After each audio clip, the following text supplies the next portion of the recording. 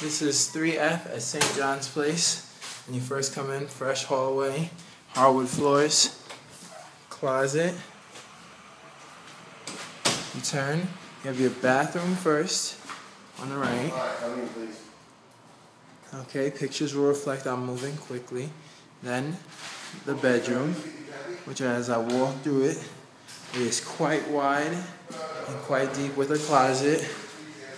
Could easily fit a queen with furniture or a king size set, depending on how many pieces you wanted in the bedroom. All right, then there's the kitchen. All right, and the living space.